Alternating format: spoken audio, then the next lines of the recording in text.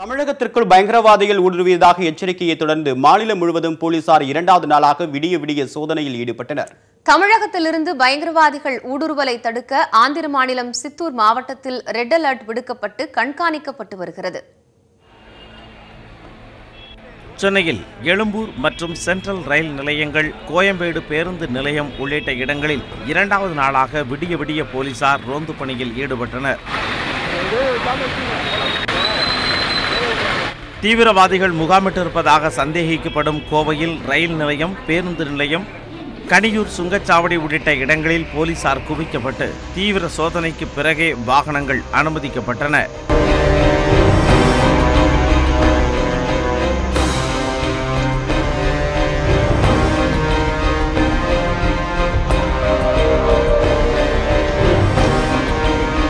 கோவை ஆர்எஸ்புரத்தில் உள்ள புரூக்வில் மாலிக் தமிழ்நாடு கமாண்டோ படையினர் வெடிகுண்டு நிபுணர்களுடன் சென்று சோதனை மேற்கொண்டனர். கடைகள் மற்றும் வளாகம் முழுவதும் சோதனை நடத்தியதுடன் பாதுகாப்பு ஏற்பாடுகள் தொடர்பாக ஆலோசனை வழங்கினர். மேட்டூர் அணையில் நீர்மட்டம் முழு கொள்ளளவை எட்ட இருக்கும் சூழலில் அணையை பயங்கரவாதிகள் வெடிவைத்து தகர்க்கக்கூடும் என்ற அச்சம் எழுந்துள்ளது. இதனால் அணையின் இரு கரைகளில் பதினாறு கண் மதகு பகுதியில் வெடிகுண்டு நிபுணர்கள் அங்குலம் அங்குலமாக சோதனை நடத்தினர். மேலும் அணை பாதுகாப்பு பணியில் உள்ள முன்னாள் இராணுவத்தினருக்கு ஆலோசனை வழங்கியதுடன் தொடர்ந்து இரண்டாவது நாளாக இன்று மேட்டூர் அணை சுரங்கம் அனல் மின் நிலையம் உள்ளிட்ட இடங்களில் சோதனை நடத்த உள்ளனர். கிருஷ்ணகிரி மாவட்டம் ஓசூர் அருகே தமிழக எல்லையில் அமைந்துள்ள ஜூஜுவாடியில் டிஎஸ்பி தலைமையில் போலீசார் வாகன சோதனையில் ஈடுபட்டனர். கர்நாடகா உள்ளிட்ட வெளிமாநிலங்களிலிருந்து வரும் வாகனங்கள் தீவிர சோதனைக்குட்படுத்தப்பட்ட பிறகே மாநிலங்களுக்குள் வர அனுமதிக்கப்படுகின்றன. தூத்துக்குடி மாவட்டத்தில் கடல் வழியாக பயங்கரவாதிகள் ஊடுருவலை தடுக்க பாதுகாப்பு படையினர். கடலோர பகுதிகளில் ரோந்து பணியில் ஈடுபட்டு வருகின்றனர். திருச்செந்தூர் சுப்பிரமணிய சுவாமி திருக்கோவிலில் கண்காணிப்பு கோபுரம் அமைக்கப்பட்டு ஆயுதம் ஏந்திய போலீசார் பாதுகாப்பு பணியை மேற்கொண்டு வருகின்றனர். கோவிலைச் சுற்றிலும் இரண்டடுக்கு பாதுகாப்பு போடப்பட்டு கண்காணிக்கப்படுகிறது. பாதுகாப்பு ஏற்பாடுகளை எஸ்பி அருண் பாலகோபாலன் ஆய்வு மேற்கொண்டார். பயங்கரவாதிகள் தாக்குதல் நடத்த திட்டமிட்டுள்ளதாக கூறப்படும் வேளாங்கண்ணி பேராலயம் முழுவதும் போலீசார் கண்காணிப்பு வளையத்திற்குள் கொண்டு வரப்பட்டுள்ளது பேராலயத்தில் ஆண்டு திருவிழா வரும் இருபத்தி ஒன்பதாம் தேதி தொடங்குவதையொட்டி பக்தர்கள் குவிய தொடங்கியுள்ளதால் மெட்டல் டிடெக்டர் கருவி மூலம் சோதனைக்குட்படுத்தப்பட்டே கோவிலுக்குள் அனுமதிக்கப்படுகின்றனர். வஜ்ரா வாகனங்கள் தயார் நிலையில் நிறுத்தி வைக்கப்பட்டுள்ளன. நெல்லை ஈரோடு புதுக்கோட்டை உள்ளிட்ட பல்வேறு மாவட்டங்களில் மோப்ப நாய்கள் உதவியுடன் போலீசார் கண்காணிப்பு பணியில் ஈடுபட்டனர்.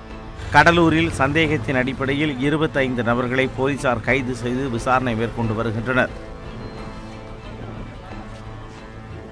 இதேபோன்று சுற்றுலா நகரான புதுச்சேரியில் பயணிகள் அதிகம் கூடும் இடங்களில் மோப்பனாய் உதவியுடன் போலீசார் சோதனை நடத்தினர். ரயில் நிலையத்தில் பயணிகளின் அடையாள அட்டை சரிபார்க்கப்பட்டு வெடுகின்ற நிபுணர்கள் சோதனைக்குட்படுத்தப்பட்ட பிறகே பயணிகள் அனுமதிக்கப்பட்டனர். தமிழகம் முழுவதும் உஷார்படுத்தப்பட்டுள்ளதால் இங்கிருந்து பயங்கரவாதிகள் ஆந்திராவுக்கு தப்பியோடக்கூடும் என அஞ்சப்படுகிறது. இதனை தடுக்கும் வகையில் இரு மாநில எல்லையில் உள்ள சித்தூர் மாவட்டத்தில் ரெட் அலர்ட் விடுக்கப்பட்டு கண்காணிப்பு தீவிரப்படுத்தப்பட்டுள்ளது. திருப்பதி மலை அடிவாரத்தில் உள்ள சோதனைச் சாவடியில் அனைத்து வாகனங்களும் சோதனைக்குட்படுத்தப்பட்ட பின்னரே திருமலைக்குள் அனுமதிக்கப்படுகின்றன. நாட்டின் பொருளாதாரத்தை ஊக்குவிக்க அதிரடி அறிவிப்புகளை வெளியிட்ட மத்திய நிதியமைச்சர் நிர்மலா சீதாராமன் சர்வதேச நாடுகளோடு ஒப்பிடுகையில் இந்தியாவின் பொருளாதாரம் வளர்ச்சி பாதையில் சென்று கொண்டிருப்பதாக திட்டவட்டமாக தெரிவித்தார். இந்தியாவின் மோட்டார் வாகன உற்பத்தி துறை உள்ளிட்ட பல்வேறு தொழில் துறைகள் கடந்த ஆண்டு முதலே கடும் பின்னடைவை சந்தித்துள்ளன. இதனால் நாட்டின் பொருளாதார வளர்ச்சியும் மொத்த உள்நாட்டு உற்பத்தி குறியீடும் தடுமாறி வருகிறது. இந்நிலையில் டெல்லியில் செய்தியாளர்களை சந்தித்த மத்திய நிதியமைச்சர் நிர்மலா சீதாராமன் உலகளவில் பொருளாதார மந்தநிலை காணப்பட்டாலும் நமது நாட்டின் பொருளாதாரத்தில் எந்த பின்னடைவும் இல்லை என தெரிவித்தார். நாட்டின் பொருளாதாரம் குறித்து பரவும் தகவல்கள் தவறானவை என்றும் அவர் விளக்கம் அளித்தார். அமெரிக்கா சீனா ஆகிய நாடுகளின் பொருளாதாரம் தடுமாறினாலும் சர்வதேச நாடுகளுடன் ஒப்பிடும்போது இந்தியாவின் பொருளாதாரம் வளர்ச்சி பாதையில் சென்று கொண்டிருப்பதாக கூறிய அவர் நாட்டின் பொருளாதாரத்தை ஊக்குவிக்கும் பத்துக்கும் மேற்பட்ட சீர்திருத்த அறிவிப்புகளையும் வெளியிட்டார். நாட்டின் பணப்புழக்கத்தை மேலும் அதிகரிக்கும் வகையில் பொதுத்துறை வங்கிகளுக்கு எழுபதாயிரம் கோடி ரூபாய் வழங்கப்படும் என அறிவித்திருக்கிறார். பங்கு முதலீட்டாளர்களின் நலன் கருதி உயர்த்தப்பட்ட உபரி வரி ரத்து செய்யப்படுவதாகவும் தொழில் கடன்களை அடைத்தவர்களுக்கு பதினைந்து நாட்களில் அனைத்து ஆவணங்களையும் வங்கிகள் வழங்க வேண்டும் என்றும் தெரிவித்திருக்கிறார். ரெப்போ வட்டி விகிதம் வங்கிகளின் வட்டி விகிதத்தோடு இணைக்க நடவடிக்கை எடுக்கப்படும் என்று கூறிய நிர்மலா சீதாராமன் இதன் மூலம் வங்கிகளே அவர்கள் வழங்கிய கடனுக்கான வட்டி விகிதங்களை மாற்றியமைக்கலாம் என்றும் தெரிவித்தார். வீட்டுக்கடன் வாகனக் கடன் தொழில் கடன் ஆகியவற்றின் மீதான வட்டி விகிதங்கள் குறைவதால் கடன் பெற்றவர்களின் மாதத்தவணை குறைவதற்கு வாய்ப்பு ஏற்படும் என்றும் இதற்கான நடவடிக்கை எடுக்கப்பட்டிருப்பதாகவும் அமைச்சர் நிர்மலா சீதாராமன் கூறினார். Banks have now decided to pass on any rate cut through the MCLR reduction to benefit all borrowers. It's a decision which the banks have made. I'm very grateful because during the consultation, we emphasized on the total, uh, irrespective of the segments, people saying that the benefits of rate reduction don't reach them at all. GST வரி செலுத்துவோருக்கான மீதத்தொகை அறுபது நாட்களுக்குள் திருப்பி அளிக்க தானியங்கி முறை நடவடிக்கை எடுக்கப்படும் என்ற அவர். தொழில் முனைவோருக்கான வரி விதிப்பு நீக்கப்பட்டு முகமற்ற வருமான வரி ஆவணங்கள் பரிசீலனை அமல்படுத்தப்படும் என்றும் தெரிவித்தார். வருமான வரி செலுத்தாத நபர்களுக்கு வரும் அக்டோபர் ஒன்றாம் தேதி முதல் மின்னஞ்சல் மூலமே நோட்டீஸ் அனுப்பப்படும் என நிர்மலா கூறினார். பெருநிறுவனங்கள் வழங்க வேண்டிய சமூக பொறுப்பு நிதியான சிஎஸ்ஆர் நிதியை வழங்காவிட்டால் ஒருபோதும் குற்ற நடவடிக்கைகள் எடுக்கப்படாது என்றும் சிவில் சட்டப்படி மட்டுமே விளக்கம் கோரப்படும் என்றும் உறுதியளித்தார் நிதி நிறுவனங்கள் ஆதாரை பயன்படுத்திக் கொள்ள அனுமதிக்கப்படும் என்ற அவர் பிஎஸ் நான்கு வாகனங்கள் இரண்டாயிரத்து இருபதாம் ஆண்டு மார்ச் மாதத்திற்கு பிறகும் இயங்க அனுமதிக்கப்படும் என்றும் கூறினார். BS four vehicles which are purchased up to 2020 March will all remain operational for their entire period of registration. So it's not as if from 2020 BS4 vehicles are all off the road, not at all. As long as their registration is on, they will be allowed and they will be as good as any other vehicle. வங்கிகள் தங்கள் வாடிக்கையாளர்களிடம் ஒரு முறைக்கு மேல் ஆதார் எண்ணை கோரக்கூடாது என்றும் செல்வத்தை உருவாக்குபவர்களை தாங்கள் மதிப்பதாகவும் தெரிவித்தார். பொருளாதார வளர்ச்சியை பெருக்க துணிச்சலான நடவடிக்கை எடுத்து வருவதாக கூறிய அமைச்சர் நிர்மலா சீதாராமன் சீர்திருத்த நடவடிக்கைகள் தொடர்ந்து நடைபெறும் என்றும் திட்டவட்டமாக கூறினார். அந்நிய முதலீட்டாளர்களுக்கு விதிக்கப்பட்ட கூடுதல் வரி ரத்து வீடு வாகனங்களுக்கான வட்டி குறைப்பு உள்ளிட்ட சலுகைகளால் இந்திய பொருளாதாரம் வலுவடையும் என்று பொருளாதார நிபுணர்கள் வரவேற்பு தெரிவிக்கின்றனர். அதே வேளையில் பொருளாதார மந்தத்திற்கு காரணமான ஜிஎஸ்டி வரி உள்ளிட்ட பிரச்சனைகளுக்கு தீர்வு காண அரசு தவறிவிட்டதாக காங்கிரஸ் கட்சி குற்றம் சாட்டியுள்ளது. ஆட்டோமொபைல் டெக்ஸ்டைல் ரியல் எஸ்டேட் உள்ளிட்ட துறைகள் கடும் சரிவை சந்தித்து வருவதால் லட்சக்கணக்கான தொழிலாளர்கள் வேலை இழக்கும் நிலைக்கு தள்ளப்பட்டுள்ளனர். இந்நிலையில் கடந்த எழுபது ஆண்டுகளில் இல்லாத அளவிற்கு இந்திய பொருளாதாரம் தற்போது பிரச்சனையில் இருப்பதாக நிதி ஆயோக்கின் துணைத் தலைவர் ராஜீவ்குமார் தெரிவித்திருந்தார். தற்போதைய பிரச்சனைகளை சரி செய்ய சாதாரண நடவடிக்கைகள் போதாது என்றும் அவர் கூறியிருந்தார். Do not face this sort of a liquidity, you know, sort of situation where the entire financial sector is up in a churn and nobody is trusting anybody else. It's not just the government and the private sector. Within the private sector, nobody wants to lend to anybody else. இதனை சுட்டிக்காட்டி நாட்டின் பொருளாதார நிலை படு பாதாளத்திற்கு சென்று விட்டதாக காங்கிரஸ் முன்னாள் தலைவர் ராகுல் காந்தி கடுமையாக விமர்சித்தார் இந்நிலையில் தான் சொன்ன கருத்துக்களை ஊடகங்கள் திரித்து கூறியுள்ளதாகவும் மத்திய அரசு மிக தீவிரமான நடவடிக்கைகளை எடுத்து வருவதாகவும் நிதி ஆயோக் துணைத் தலைவர் ராஜீவ்குமார் ட்வீட் செய்துள்ளார். இந்திய பொருளாதாரம் குறித்து யாரும் பயப்பட வேண்டிய தேவையில்லை என்றும் அவர் பதிவிட்டுள்ளார். இந்நிலையில் நேற்று மாலையில் செய்தியாளர்களிடம் பேசிய நிர்மலா சீதாராமன் பல்வேறு வரி சலுகைகளை அறிவித்தார். அந்நிய முதலீடுகளுக்கு விதிக்கப்பட்ட வரி ரத்து செய்யப்பட்டதன் மூலம் வரும் திங்கட்கிழமை முதல் பங்குச் சந்தையில் முதலீடுகள் அதிகரிக்க வாய்ப்புள்ளதாக பொருளாதார நிபுணர்கள் கணித்துள்ளனர். மேலும் வீடுகள் வாகனங்கள் வாங்குவதற்கான கடன் குறைப்பு உள்ளிட்ட சலுகைகள் மந்த நிலையில் உள்ள பொருளாதாரத்தை மீட்டெடுக்க உதவும் என்று நம்பிக்கை தெரிவித்துள்ளனர்.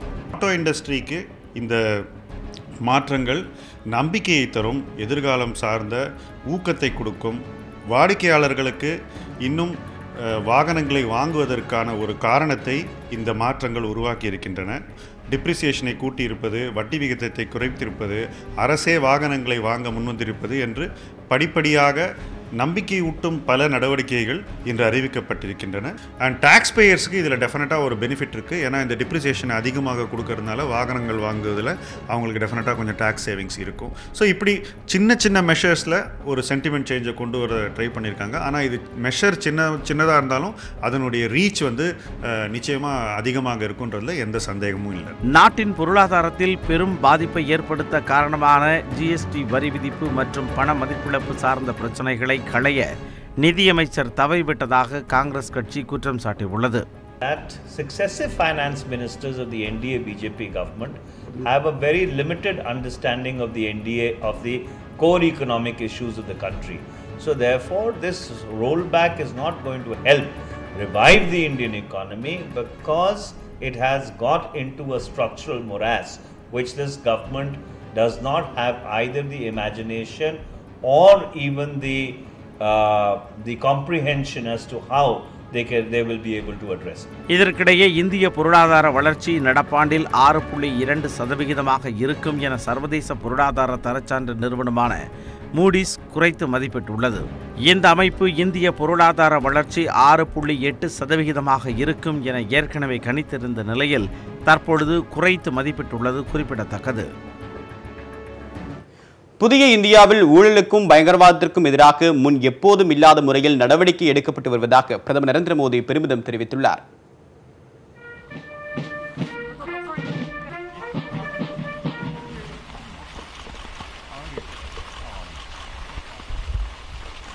பிரான்ஸ் சென்ற பிரதமர் நரேந்திர மோடி அந்நாட்டு அதிபர் இமானுவேல் மேக்ரானை சந்தித்து பேசினார். அப்போது காஷ்மீர் விவகாரத்தில் மூன்றாவது நாட்டின் தலையீடு கூடாது என்று இமானுவேல் மேக்ரான் தெரிவித்தார். மேலும் தீவிரவாதத்துக்கு எதிராக இணைந்து செயல்படுவோம் என்றும் நம்பிக்கை தெரிவித்தார்.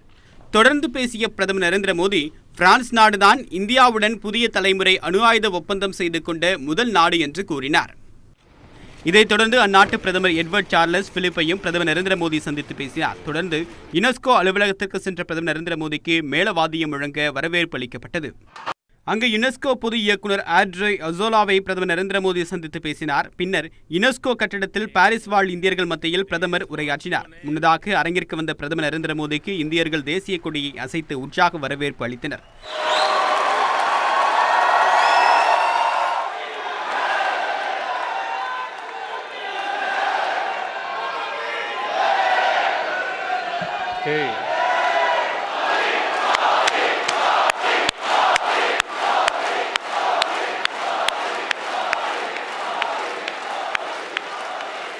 அப்போது உரையாற்றிய பிரதமர் நரேந்திர மோடி சந்திராயன் டூ விண்கலம் செப்டம்பர் ஏழாம் தேதி நிலவை சென்றடைய உள்ளதை குறிப்பிட்டார். இதன் மூலமாக நிலவில் கால்பதிக்கும் உலகின் நான்காவது நாடு என்ற பெருமையை இந்தியா பெறுவதாகவும் அவர் பெருமிதம் தெரிவித்தார். புதிய இந்தியாவில் குடும்ப ஆட்சி நடத்தி பொதுமக்கள் பணத்தை திருடுவது பயங்கரவாதம் ஆகியவற்றை அதிதீவிர நடவடிக்கைகள் மூலமாக ஒடுக்கி வருவதாகவும் தெரிவித்தார். புதிய இந்தியாவை அமைக்காமல் ஓய மாட்டோம் என்றும் பிரதமர் நரேந்திர மோடி குறிப்பிட்டார். முத்தலாக் தடை சட்டத்தை நிறைவேற்றியதன் மூலமாக கோடிக்கணக்கான சகோதரிகளின் ஆசீர்வாதம் கிடைத்திருப்பதாகவும் அவர் தெரிவித்தார். தனது தலைமையிலான அரசு நீர் மேலாண்மையை திறம்பட கையாண்டு வருவதாகவும் ஜல்சக்தி என்ற புதிய அமைச்சகத்தை அமைத்துள்ளதன் மூலமாக புரட்சிகரமான நடவடிக்கைகளை மேற்கொண்டு வருவதாகவும் பிரதமர் நரேந்திர மோடி குறிப்பிட்டார். பின்னர் பிரதமர் நரேந்திர மோடி ஐக்கிய அரபு அமீரகத்திற்கு புறப்பட்டு சென்றார். அமீரக பயணத்தை முடித்துக்கொண்டு மீண்டும் பிரான்சிற்கு திரும்பி வந்து ஜி செவன் மாநாட்டில் பிரதமர் பங்கேற்பார். மாநாட்டில் நாளை உரையாற்றும் பிரதமர் நரேந்திர மோடி அமெரிக்க அதிபர் டொனால்டு ட்ரம்பை சந்தித்து காஷ்மீர் விவகாரம் குறித்து பேச்சுவார்த்தை நடத்தவுள்ளார். அதைத் தொடர்ந்து ஜி செவன் மாநாட்டில் பங்கேற்கும் நாடுகளின் தலைவர்களையும் தனித்தனியாக சந்தித்து பிரதமர் நரேந்திர மோடி பேச்சுவார்த்தை நடத்த இருக்கிறார் ஐஎன்எக்ஸ் மீடியா விவகாரத்தில் முன்னாள் மத்திய அமைச்சர் ப. சிதம்பரத்தை இருபத்தாறாம் தேதி வரை அமலாக்கத்துறை கைது செய்ய உச்சநீதிமன்றம் இடைக்கால தடை விதித்துள்ளது.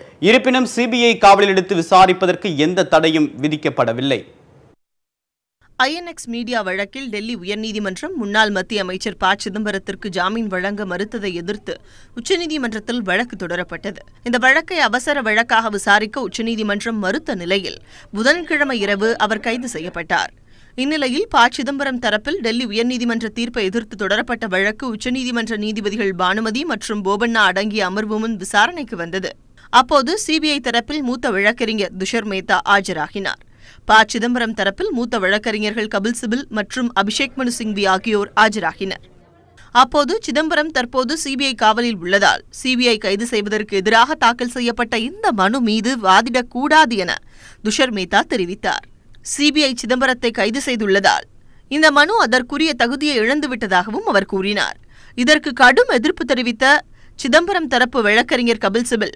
சிபிஐ மற்றும் அமலாக்கத்துறை ஆகிய இரு தரப்புக்கு எதிரான மனுக்களின் மீதும் தங்களின் வாதங்களை வைப்போம் என்றார். ஆனால் சிதம்பரம் தரப்பின் மனுவை தள்ளுபடி செய்ய வேண்டும் என சிபிஐ வழக்கறிஞர் துஷர் மேத்தா வலியுறுத்தினார். அப்போது வழக்கின் தற்போதைய நிலை என்ன என நீதிபதி பானுமதி வினவினார். அதற்கு பதிலளித்த துஷர் மேத்தா வரும் திங்கட்கிழமை வரை சிதம்பரம் சிபிஐ காவலில் வைக்கப்பட்டுள்ளதாக தெரிவித்தார். இதையடுத்து சிபிஐ வழக்கை திங்கட்கிழமை வரை ஒத்திவைத்து நீதிபதிகள் உத்தரவிட்டனர். இதையடுத்து அமலாக்கத்துறைக்கு எதிராக தொடரப்பட்ட வழக்கு விசாரணைக்கு எடுத்துக் கொள்ளப்பட்டது. அப்போது வழக்கு விசாரணையை திங்கட்கிழமை வரை ஒத்திவைக்க வேண்டும் என அமலாக்கத்துறை தரப்பில் கோரப்பட்டது. அதனை ஏற்க நீதிபதிகள் மறுத்துவிட்டனர். இதையடுத்து ஐஎன்எக்ஸ் மீடியா வழக்கில் அமலாக்கத்துறை எந்த பிரமாண பத்திரத்தையும் இதுவரை தாக்கல் செய்யவில்லை என கபில் சிபில் தெரிவித்தார். மேலும் தங்கள் தரப்பின் வாதத்தை முன்வைக்க உயர்நீதிமன்றத்தில் போதிய கால அவகாசம் வழங்கப்படவில்லை என்றும் அவர் குற்றம் சாட்டினார். மேலும் ஐஎன்எக்ஸ் மீடியா பீட்டர் மற்றும் இந்திராணி முகர்ஜி ஆகியோரின் கட்டுப்பாட்டில் இருந்ததாகவும் இந்திராணி முகர்ஜி தனது வாக்குமூலத்தில் சிதம்பரத்தை சந்தித்ததாக கூறியுள்ளார் என்றும் துஷர் மேத்தா தெரிவித்தார். டெல்லி உயர்நீதிமன்றம் தனது உத்தரவில் சிதம்பரத்தை கிங்ஃபின் என குறிப்பிட்டிருந்த பகுதியையும் துஷர் மேத்தா வாசித்து காண்பித்தார். ஐஎன்எக்ஸ் மீடியா வழக்கில் பதினேழு வங்கிகளுக்கு பணப்பரிமாற்றம் நடைபெற்றுள்ளதாகவும் இதில் பெரும்பாலானவை சிதம்பரத்திற்கு நெருக்கமானவர்களின் வங்கிக் கணக்குகளே என்றும் துஷர் மேத்தா குறிப்பிட்டார். போலி நிறுவனம் ஒன்று சிதம்பரத்தின் பேத்தி பெயரில் உள்ளது கண்டுபிடிக்கப்பட்டுள்ளதாகவும் ஆனால் அதற்கான ஆவணங்கள் அழிக்கப்பட்டு விட்டதாகவும் மேத்தா கூறினார். சிதம்பரத்தை காவலில் வைத்து விசாரித்தால் அனைத்திற்கும் விடை கிடைக்கும் என்றும் அவர் குறிப்பிட்டார். இதையடுத்து வழக்கு விசாரணையை திங்கட்கிழமை வரை ஒத்திவைத்த உச்சநீதிமன்றம் அதுவரை சிதம்பரத்தை அமலாக்கத்துறை கைது செய்ய தடை விதித்து உத்தரவிட்டுள்ளது. காஷ்மீர் நிலவரம் குறித்து ஆய்வு செய்வதற்காக ராகுல் காந்தி தலைமையில் பத்து எதிர்க்கட்சி பிரதிநிதிகள் இன்று ஸ்ரீநகர் செல்ல உள்ளனர் இந்நிலையில் எதிர்க்கட்சித் தலைவர்களின் வருகையால் பொதுமக்கள் பாதிக்கக்கூடும் என்பதால் பயணத்தை தவிர்க்கும்படி உள்ளூர் நிர்வாகம் கேட்டுக்கொண்டுள்ளது.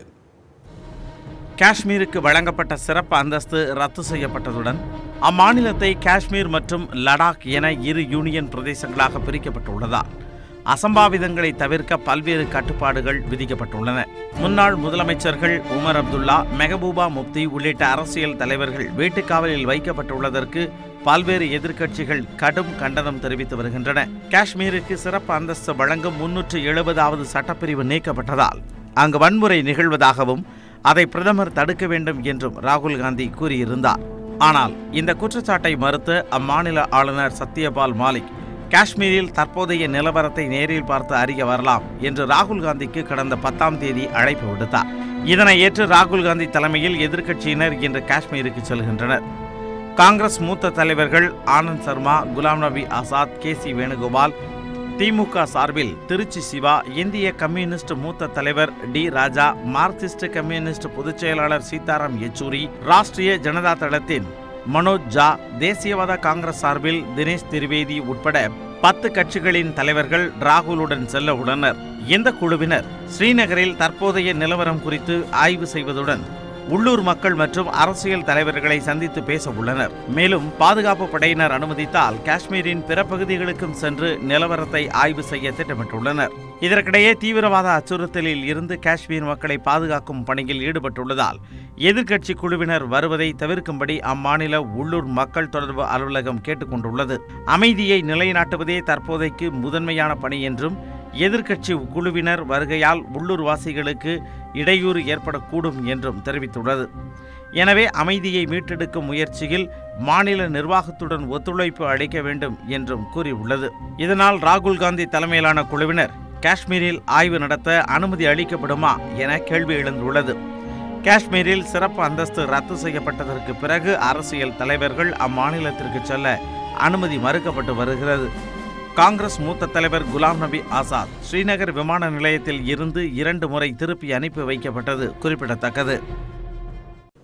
பிக்பாஸ் நிகழ்ச்சியில் பங்கேற்ற தொடர்பாக சம்பள பாக்கி விவகாரத்தில் தனியார் தொலைக்காட்சி நிறுவனத்திற்கும் நடிகை மதுமிதாவுக்கும் சர்ச்சை எழுந்த நிலையில் தங்களுக்கும் ஏதும் அது போன்ற பிரச்சனை ஏற்படவில்லை என்று மதுமிதாவின் சக போட்டியாளர்கள் மீரா மிதுன் சாக்ஷி போன்றோர் தெரிவித்திருக்கிறார்கள். இவர்கள் மூவரும் தெரிவித்த கருத்துக்களை தற்போது பார்க்கலாம். இது முற்றிலுமாக ஒரு பொய் புகார். ஏன் இதை நான் போய் புகார் அப்படின்னு சொல்கிறேன் அப்படின்னா இந்த புகார் வர்றதுக்கு முன்னாடி அவங்க வந்து உங்களுக்கான பேமெண்ட் எல்லா விஷயத்தையும் நாங்கள் சீக்கிரமே செட்டில் பண்ணிடுறோம். இன்வாய்ஸ் கொடுத்து விடுங்க அப்படின்னு சொல்லி சொன்னாங்க. என் கணவர் மூலமாக சேனலுக்கு போயிட்டு இன்வாய்ஸ் கொடுத்துட்டு நாங்கள் வந்தாச்சு. அவங்களும் ரிசீவ்டு சீக்கிரமாக உங்கள் அமௌண்ட் வந்துடும் அப்படின்னு சொல்லி சொல்லி அனுப்பிட்டாங்க. அதுக்கப்புறமா இந்த மாதிரி ஒரு புகாரை ஏன் கொடுத்தாங்கன்னு இப்போ வரைக்கும் எனக்கு நிச்சயமாக தெரியலங்க. சேனலுக்கும் எனக்கும் எந்த ப்ராப்ளம் கிடையாது. ஸோ அவங்க பர்சனலாக என்ன ஃபேஸ் பண்ணாங்கன்னு எனக்கு தெரியல. பட் எனக்கு நல்ல பாண்டிங் சேனலோட ரொம்ப ரெஸ்பெக்ட் பண்ணுவாங்க. எல்லாமே நல்லா தான் பார்த்துக்கிட்டாங்க என்ன நம்ம கான்ட்ராக்ட்ல கிளியராக ஏதுட்டு இருக்கு தட் நம்ம ஹண்ட்ரட் டேஸ் கழிச்சு தான் பேமெண்ட் வரும்னு சொல்லிட்டு. ஸோ நாங்கள்லாம் வெளியே வந்துட்டோம். ஸோ நாங்கள் அந்த மாதிரி எந்த ஒரு கேஸும் போடல. ஸோ அவங்க பண்ணிட்டு இருக்கக்கூடாதுன்னு நான் நினைக்கிறேன். பட் அவங்களோட கான்ட்ராக்ட்ல என்ன இருக்குது எனக்கு தெரியாது. ஸோ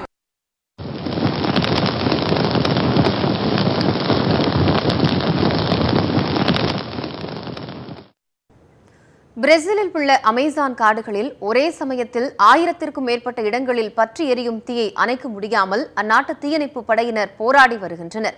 மூன்று லட்சத்திற்கும் மேற்பட்ட சதுர கிலோமீட்டர் பரப்பளவு கொண்ட அமேசான் காடு பிரேசில் பெரு கொலம்பியா வெனிசுலா பிரான்ஸ் உள்ளிட்ட நாடுகளில் பறந்து விரிந்து காணப்படுகிறது. இதில் அறுபது விழுக்காடு காட்டுப்பகுதி பிரேசிலில் உள்ளது.